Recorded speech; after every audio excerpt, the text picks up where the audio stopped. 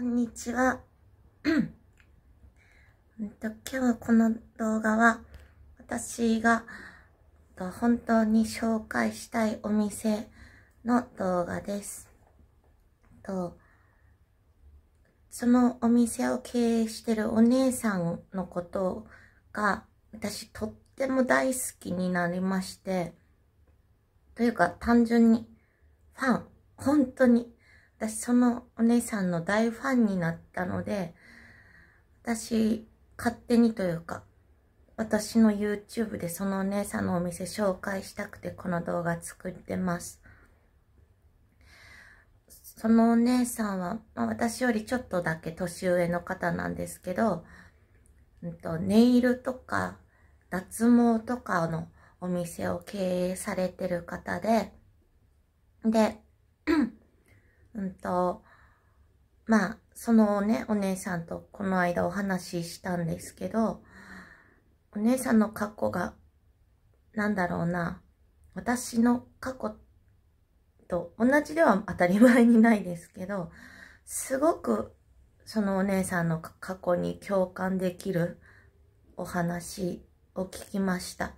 本当に、私の人生も、まあ、ね、ほんととんでもない壮絶な、言ってしまえばちょっとだけ映画化にできるようなものだったりするんですけど、お姉さんの過去も本当に大変で苦労されてっていう人生を送ってきた方でした。うん。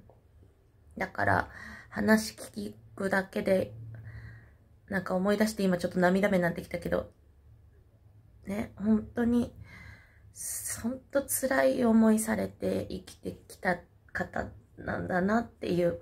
そして、そこからまたね、のし上がって、這い上がって、立ち直って、頑張ってお店を経営してるっていう、もう、スーパーかっこいいお姉さんで、うん。で、私が YouTube を本格的に伸ばしたいって思ったのはそのお姉さんのためです。本当に。自分のためだったらめんどくさいから動画もこんなやんないけど。うん。そのお姉さんのために、あの、勝手にね、う。私がやりたいって思ってやってることだから、あの、別に全然いいんですけど、人のために生きてったらいつか自分にあの見返りっていう意味じゃなくてなんて言ったらいいんだろうな。真面目に生きてったら絶対にいいことあるって思って生きてるので、うん、だからそのお姉さんをとにかく私は変な話一生じゃないけどあのずっと応援していきたいって心から思ってるので、あの、私にちょっとでもこうね、共感してくれたりとか、私のことを応援したいって思ってくれてる方は、ぜひ、あの、私にっていうか、まあ、私を介して、そのお姉さんのに貢献していっていただけると、私が嬉しいです、単純に。本当に。うん。人に尽くすと必ず帰ってくるからね。何かしら。あの、うん。それは何だろうな。気持ちの面でかな。うん。っていうので、生きてるので、一緒にお姉さんを応援してほしいです。で、私のこのネイル見てください。これ、ネイル。見えますか？そう。このネイル、そのお姉さんのお店でやってもらったネイルです。お姉さんがやってくれたわけじゃなくて、もう一人の女性の、その方もね、ほんと素敵な方でね、もう、なんか最後お話聞いて師匠とか言って帰ってきたんですけど、それぐらい本当に素敵なお姉さん二人いるお店だったので、単純に、あの、人に会いに行ってみてほしいです。はい。うん。ほんとすごくね、なんだろうな、話しててね、もう、感銘を受ける話しか聞けなかった。お金を払ってでも、聞く価値のある話を聞いて、もちろん無料でね、うん、帰ってきました。うん。こんな可愛いネイルしてみたいと思いません？女性の方。まあ、もちろん男性でもいいけど。男性も女性もこんな綺麗なネイルしたいと思いませんか？そう。ネイルだけじゃなくて、エステとかフェイシャルとかと、もちろん脱毛。私、お姉さんのところじゃなくて違うとこに脱毛今通っちゃってるんですけど、もうちょっと早かったらね、お姉さんのところ行けたんだけどな。すいません。うん。脱毛だったり、あと男性の脱毛とか、男性のフェイシャルとかもやってるお店なので、女性だけじゃなく私のだからこれ見てる男友達とかにもマジで本当におすすめしたいです。はい。お願い、本当お願いします。あの、お姉さんに会いに行ってみてほしい。何かをするとかって考える前に。人柄良すぎてビビるよ、ほんと。うん。だから、もしお時間ある方とかは、ぜひぜひ、あの、お姉さんのお店遊びに行って行ってみてください。うん。不安だったらというか、まあ、男女問わず、私、まあ、LINE つながってる人は LINE で連絡してくれれば、一緒に日程合わせて一緒に行きますので、どうか本当によろしくお願いします。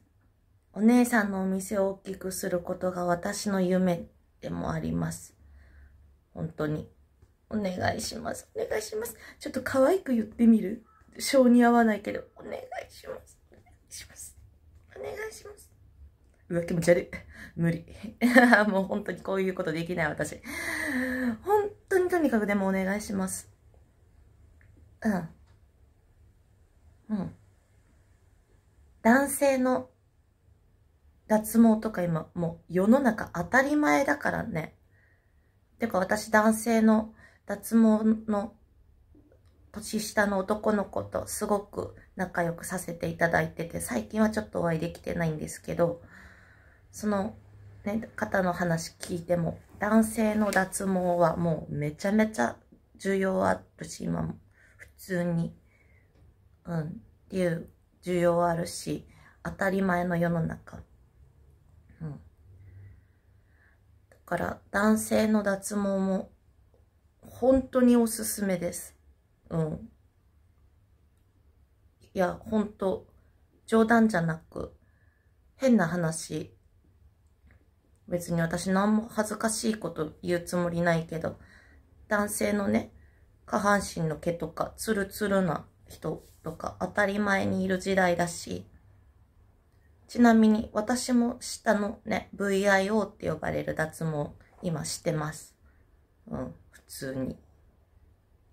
男女ともに、やっぱり、ね、いや、髭とか残したい人はいるかもしれないけど、毛がないって楽よ。ほんと。あの、冗談抜きで。うん。だから、まあ、うん、自分のこだわりさえなければ、あの、ちょっと人生変えてみるっていう意味でというか、やってみる手はないと思う。うん。男性のエステもそうだし、男性の脱毛もそうだし、でもちろん女の子はね、私のこのネイルみたいにネイルしたりとか、エステとか、ま、女の子は脱毛ね、絶対したいと思うけど、うん。だから本当お願いします。素晴らしいから。ね。私が保証してるから。いや、私信頼できるかどうか知らないけどさ。うん。けど、私の人生と、まあ、比べるものではないけど、とにかくすごく大変な思いされて生きてこられて、這い上がって、お店作ってというかね、経営してる方だからね、すごいよね。もう、あがめ立てまつる。ほんと、雲の上のような人だ。ほんと、可愛いし、そして。うん、だから、どうにかお願いします。お姉さんに貢献したいから、協力してね。なんてね、可愛い子ぶってんじゃねえよ、バーカって言われそうだけど。いいよ、別に言われたって何言われたって、金名とか言われたって別に何も気にしないもん。はい。とりあえず ふざけすぎた。はい。じゃあお、お姉さんの最後、お店の、あの、内装っていうか、動画なんか間違ってちょっと消しちゃったので、写真しかないんですけど、お姉さんのお店の写真アップして終わります。はい。じゃあ、ご覧ください。どうぞ。